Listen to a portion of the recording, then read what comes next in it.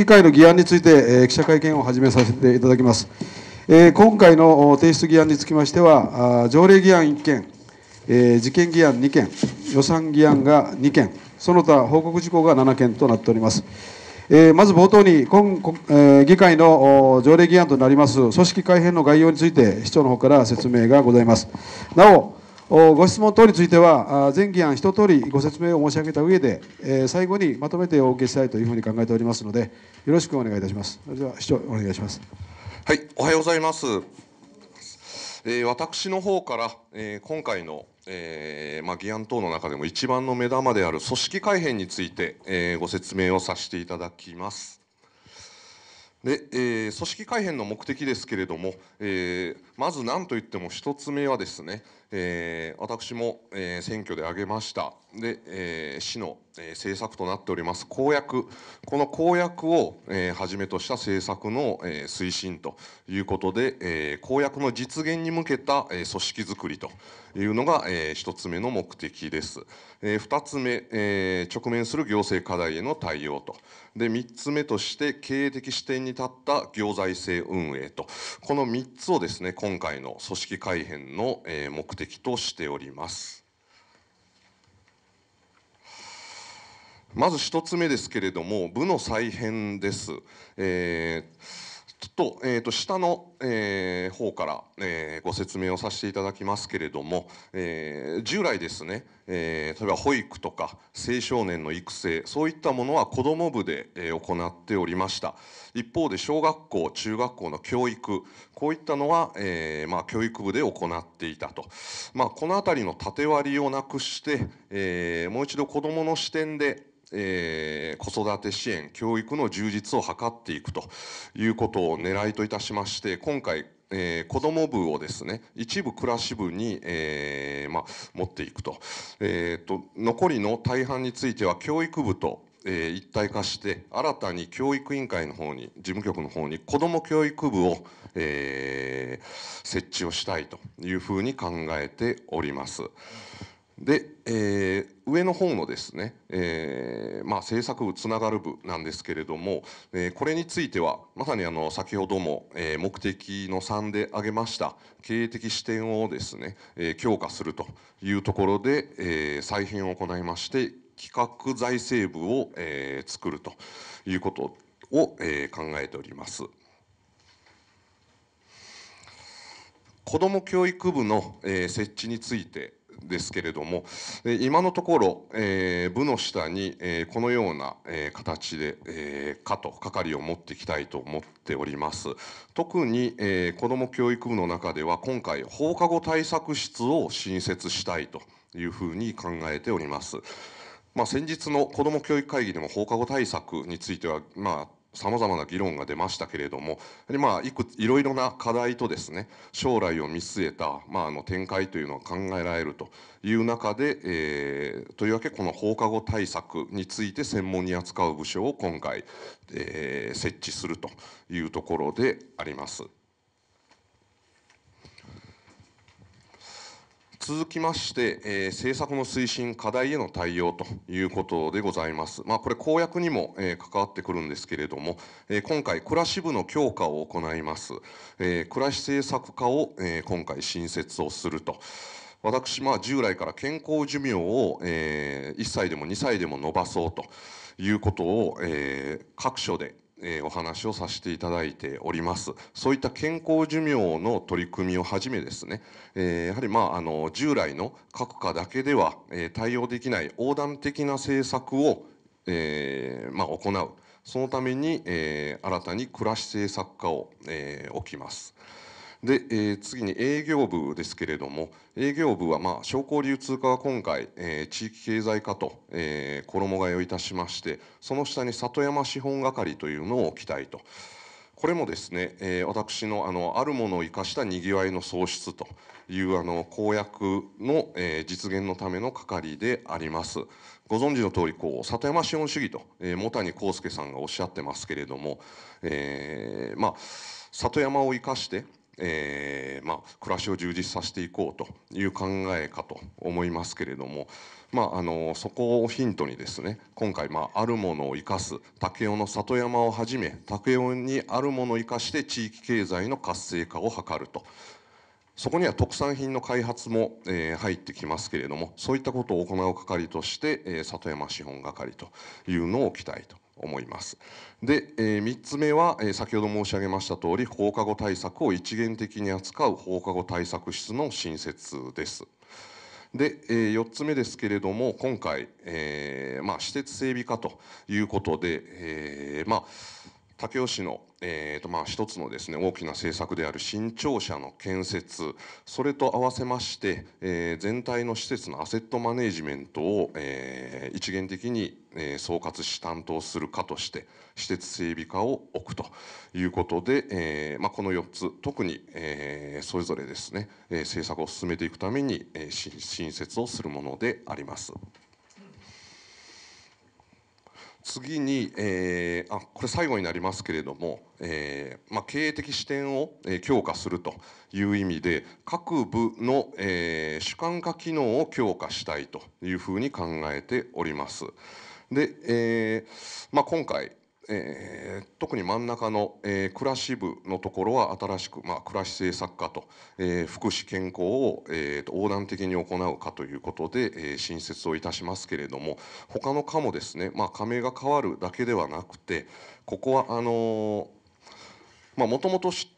あれですね一つの課だけで、えー、解決できる課題というのは、えーまあ、これからの、えー、地方創生の時代、えー、と非常に少ないと。やはり横断的に、えー、課をまたがってえー、施策を、えー、展開していくことが必要だと。いうことで、えー、それぞれを、えー、主観化というふうにしてそして、えー、それぞれの、えーまあ、この赤の課がですね、えー、その部の横断的な政策をまあ、取りまとめ進めていくということで、えーまあ、主管化機能の強化をしたいということであります。えー、私の方から、えー、組織改編について、えー、ご説明をさせていただきました。まあ、一番のやはりまあ目玉はですね、えー、今回子ども教育部の設置だというふうに、えー、思っております。私の方からは以上です。はい、えー、ただいま説明がありました組織改編にかかる武雄市の部設置条例の一部を改正する条例のほか、えー、武雄中学校屋内運動場改築工事請負契約の締結についてということと佐賀県市町総合事務組合規約の変更にかかる協議についてという2件の事件議案がございます。え、この2件につきましてはそれぞれの法令の規定に基づき提案するものでございます。えー、それでは続きまして、えー、予算議案についてご説明申し上げます。はい、えー、財政課です。私の方から補正予算の概要について、えー、ご説明をいたします。今回はあ一般会計と競輪事業特別会計の補正予算を提案をいたしております。まず一般会計ですけれども、補正予算額10億6373万円を追加をいたしております。これによりまして補正後の予算額ですけれども238億2687万9000円で対前年度の6月との比較で4.3%の増ということになっております。それでは補正予算にかかります主な事業について説明をいたします。まずスーパー食育スクール事業です。これにつきましては昨年度に引き続きまして若き小学校が文部文部科学省の指定を受けまして、民間企業、西九州大学と連携して、児童の食習慣等の改善に取り組む事業で、全額県の補助を受けて実施するものでございます。次に、地域とともにある学校づくり。これにつきましても、国県の補助金を活用するもので、え、まず官民一体型学校の、ま、実施校や来年度の準備校5校におけますボランティア活動を支援する事業それと、ま、保護者や地域住民の意見を学校運営に、ま、反映させる学校づくりを目指す事業等に要する経費等を計上をいたしております。学校教育環境の整備ですけれども、これも国の補助金を活用するもので、今回は川登中学校の音楽室などの特別教室の整備北方中学校のエレベーターの設置等に要する経費を計上をいたしております。保育所等整備事業では武雄保育園の移転改築北方町の大崎保育園の老朽化に伴う改築に対する補助金を計上をいたしております。財源につきましては国の保育所等整備交付金を活用するものであります。なお武雄保育園につきましては武雄保育所の民営化に伴う上乗せ補助を計上をいたしております。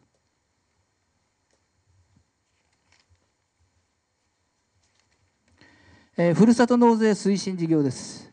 えー、ふるさと納税の情報を紹介しているポータルサイトふるさとチョイスの特集号への、まあ、掲載それとお礼の品の充実クレジット決済が可能になったこと等によりまして、えー、寄付件数が当初の想定より上回っているということに伴ってお礼の品あ、まあ、事務処理等にかかる経費について、えー、追加するものであります。佐賀県段階チャレンジ事業です。これにつきましては、佐賀県の地方創生の取り組みの一環といたしまして、住民自らが考えて実行する事業に対し、県が補助金を交付をするものであります。市内の自治会やまちづくり団体が提案、実施する事業に対して対します県の補助金を計上をいたしております。紀東地区統合消防消防施設整備事業です。武雄消防署、武雄本部の、まあ、消防施設の整備事業の負担金として、用地購入、造成等に、まあ、要する経費を計上いたしております。すみません、ここ、統合、あ、あ、あそうか。配布資料、すみません、えーえー、紀東地区総合ということになっているかと思いますけれども、統合に修正をお願いいたします。すいません。以上が一般会計の主な事業ですけれども、続きまして特別会計でございます。特別会計につきましては、競輪事業特別会計で、ホームページのリニューアルに要する経費を計上いたしております。新規の競輪ファンの獲得、販売拡大の販売機会の拡大を目指してインパクトのあるホームページに更新をするものであります。以上で補正予算の概要といたします。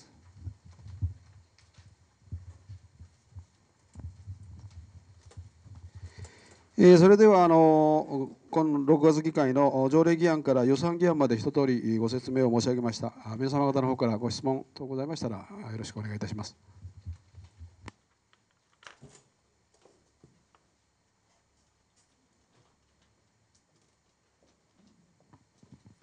西日本新聞の前田と言いますあの部の再編の中でですね、えー、フェイスブックシティ化とイノシシ化という、まあ、武雄で今まで、まあ、インパクトのある名前で、まあ、注目を集めていた化が今回のではなくなることになってますけれどもここら辺は、まあ、なぜなくすことにされたのか教えてください。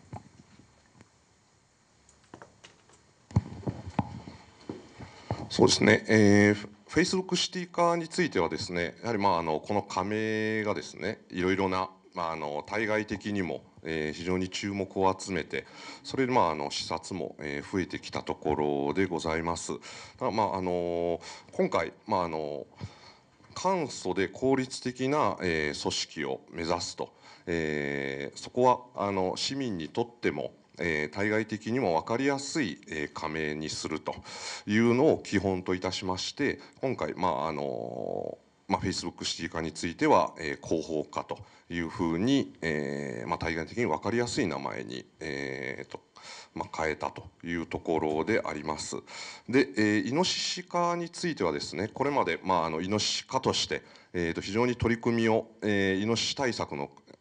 とですね販売促進の、えーまあ、特に対策ですかね、えー、強化をしておりました、えーとまあ、あの一定程度ですねかなり、まあ、あの成果が、えー、出てきておりますので、え、今回、まあ、イノシシ化という看板はですね、えまあ、一定の,、まあ、あの推進のための役割を、え終えただろうということで、えーまあ、従来通り、えーとまあ、農林化の中で、えーと引き続きやっていくというふうに考えています。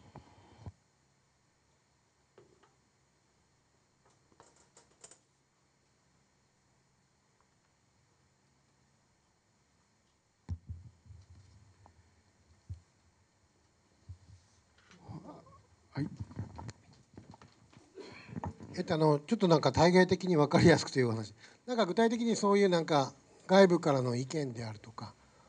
分かりづらさとかそういう声があったんでしょうか？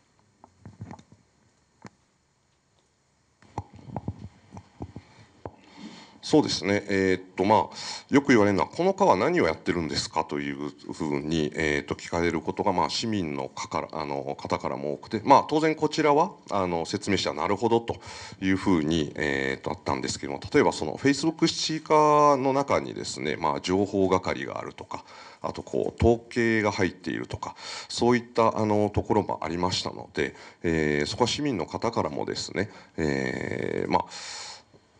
説明をすれば、えー、と理解を、えー、としていただけるんですけれども、まあ、より分かりやすくということで、えー今回、まあ、あのシンプルに広報化というふうに変えたところですね。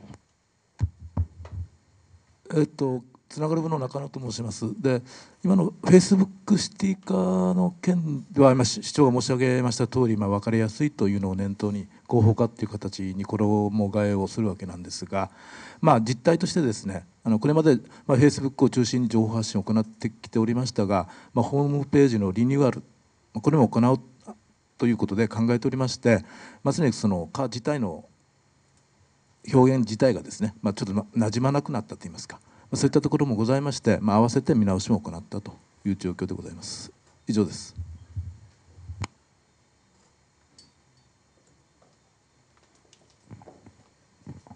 西日本新聞の前田です。今の部長のお話だと、もうホームページをフェイスブックからは引き上げるという意味合いでおっしゃってるんですかね。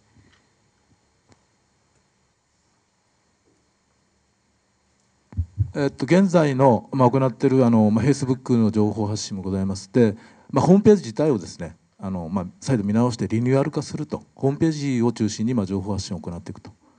いうことを、まあ、考えておりまして、まあ、それに行伴いまして、まあ、課の名前もですね、まあ、実態とこう合わないという状況になりましたので、まあ、今回変あの変更を行うというものでございます。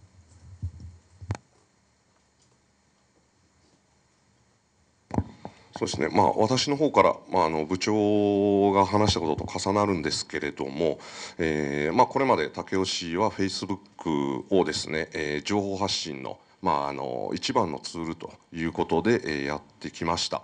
まあ、あの今いろいろまあ引き続き SNS であるとかですね、えーとまあ、それこそホームページとか、えーそれこそ情報発信の手段っていうのは、えー当時の現状から比べると、まあ、あのいろいろツールも多様化しています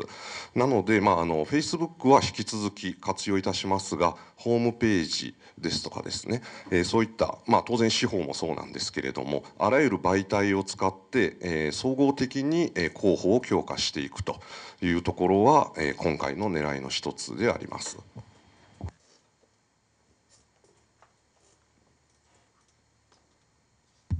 他にご質問ございますか？はい。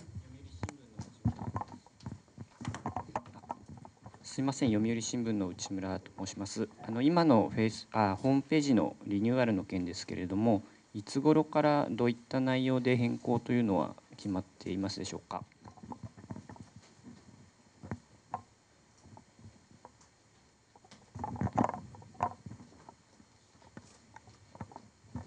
えー、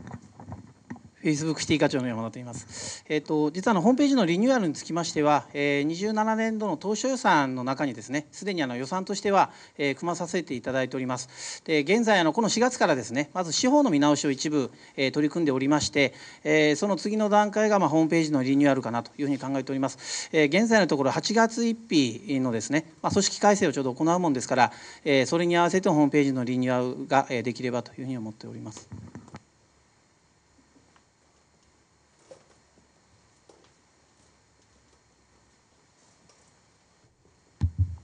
他にございませんか？はい。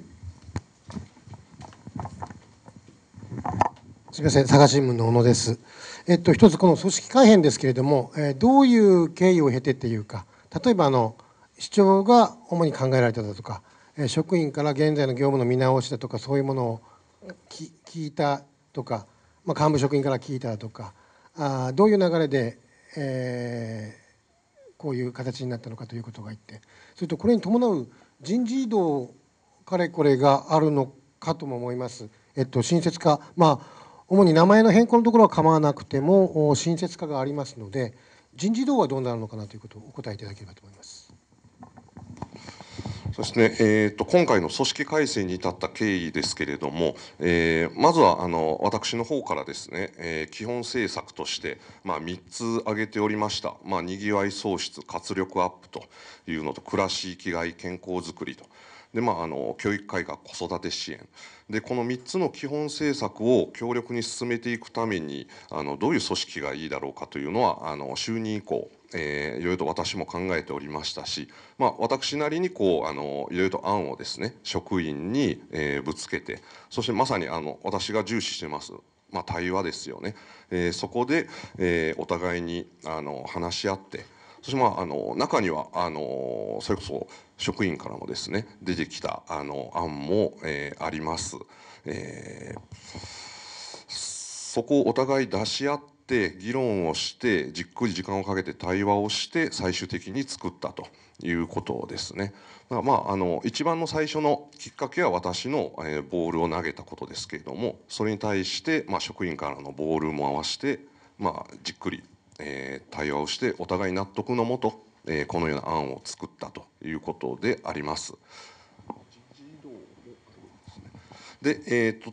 まあ、組織が変わりますし、えーまあ、部の数も、えー、と一つ、えー、と減りますので、まあ、それに伴いまして、えー8月1日の人事異動を予定しております。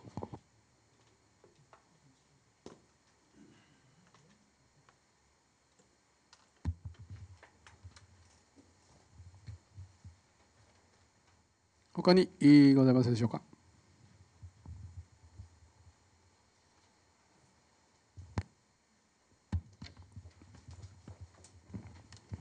新本新聞の前田です。あのふるさと納税の件でお伺いするんですが、だいたい昨年とかまあ前年度と比べてどれくらい増えていっているのか、でまたその品物等をどのように充実させたのか教えてください。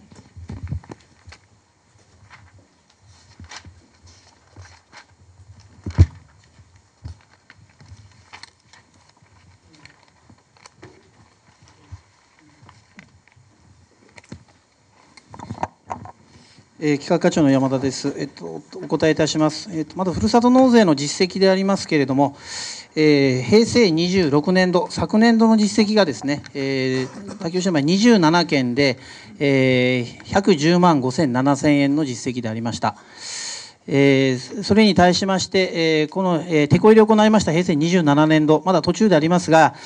えー5月20、えー22日現在、えー先週末現在でありますが、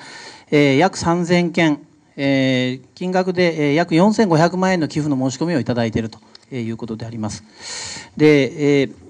品物につきましてはですね、まあ、これまで武雄市の場合は、えーインターネットを使いました、まあ、特産品の販売ということで取り組んでおりまして、まあ、そういうノウハウも活用しまして、えー今回、ふるさと納税のお礼の品物をですね、揃えているわけですけれども、えーまあ、圧倒的な人気,、えー人気はですね、えーまあ、お肉、えが、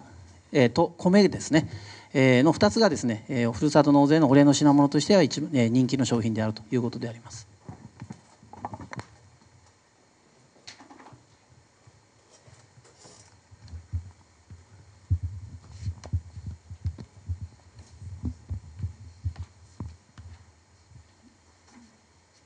他ございませんでしょうか？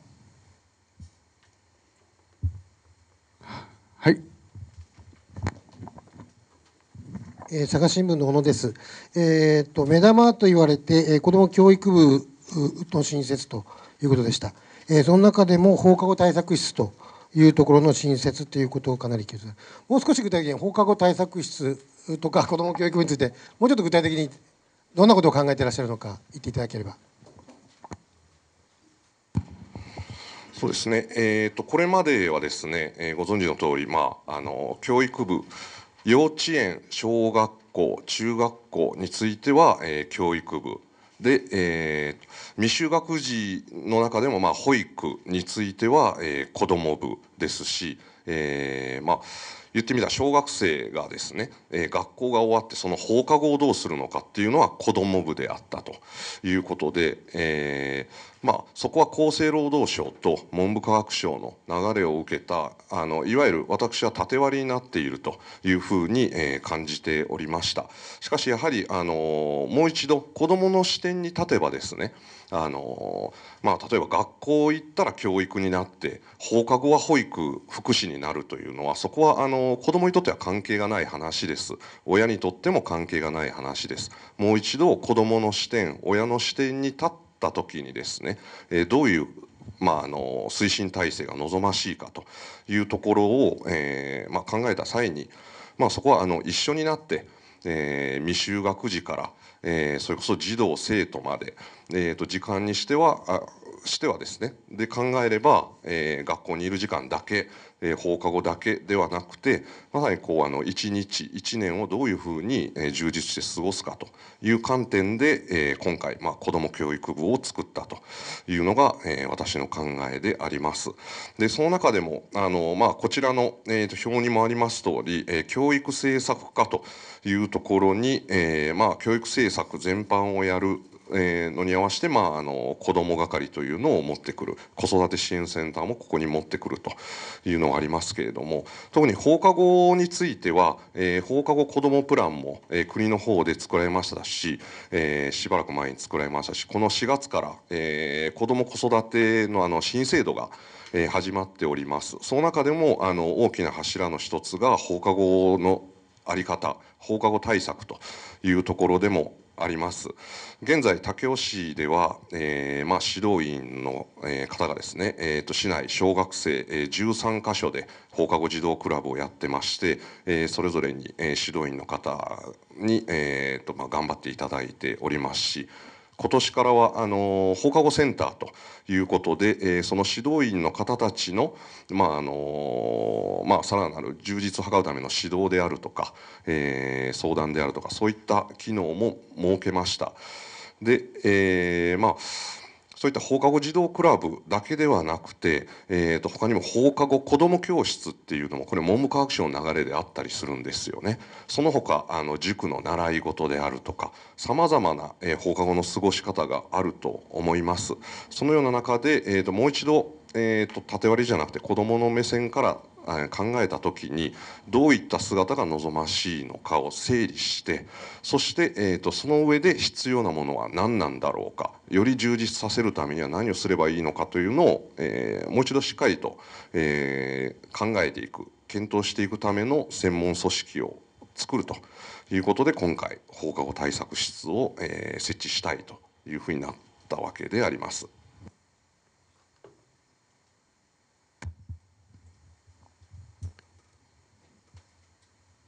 その他にございませんでしょうか？はい。西日本新聞の前田です。あの教育長にお伺いしたいんですけれども、今回そのまあ子ども部と教育部が統合することによってのまあ子どもの教育であったり支援だったりの充実がどう図られるというふうにあの考えておられるかお考えをお聞かせください。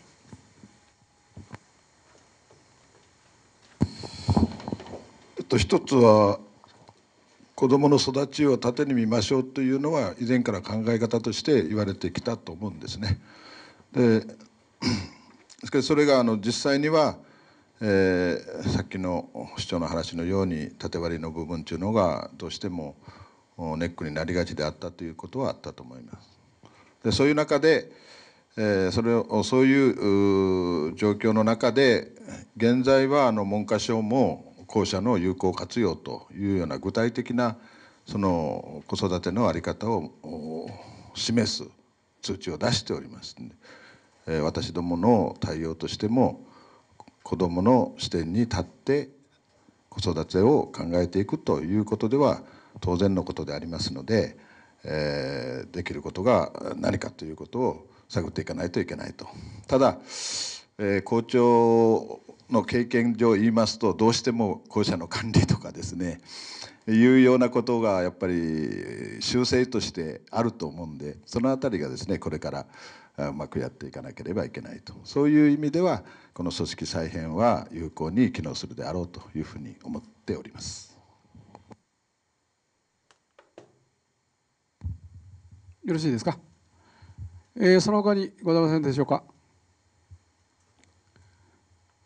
はい内容でございますので、えー、それでは6月会の記者会見をこれで終了いたします。どうもお疲れ様でした。ありがとうございました。